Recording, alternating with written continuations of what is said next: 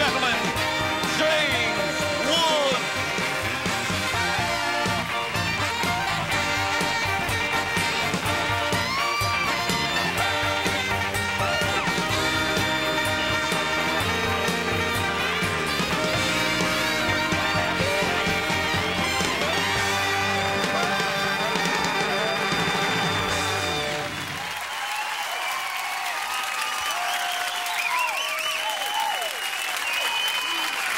you.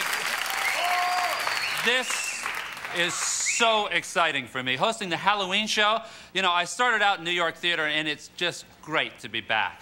And doing this show is a real kick, too. You know, it's a chance to try different things because I, I think I kind of need that. You know, I, I mean, let's face it, I make a lot of movies, and I usually play the same kind of guy, you know, psycho, the lunatic, the sociopath, you know, the weirdo. And I just got to tell you, that's, that's not me.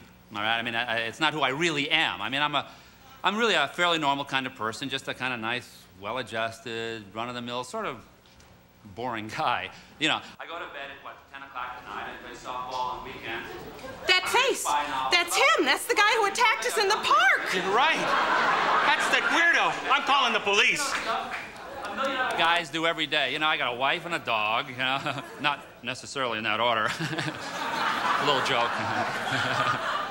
you know, I like the simple things Yes, life, you know, yes, yes, sir. friends. Thank you very much, sir. Uh, we have received football. several phone calls, I mean, and we are surrounding the building. Is criminally insane, then I guess I'm guilty, you know? I mean, if trying to get my golf scores below 90 makes me a psycho, then hey, lock me up. no, but, but seriously, I, I think I've got a real uphill battle here to overcome because to overcome my image.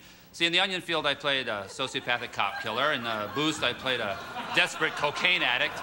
I was a heartless hitman and bestseller.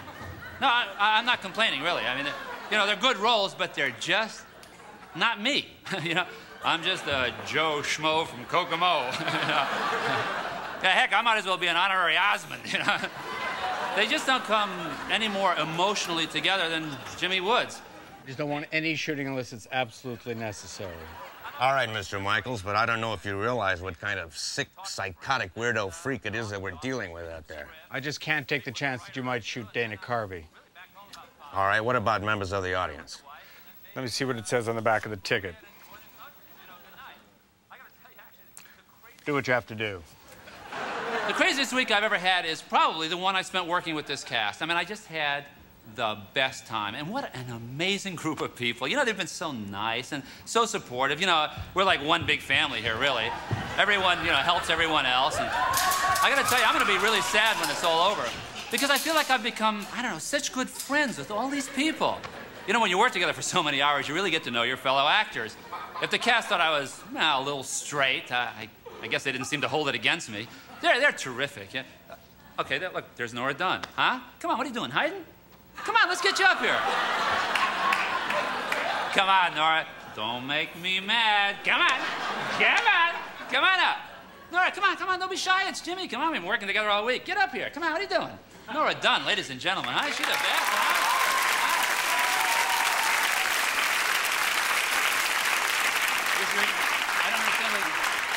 You're kind of shaking here. It's live. So what? Relax. It's going to be a great show. Don Henley's here. We'll be right back. Huh?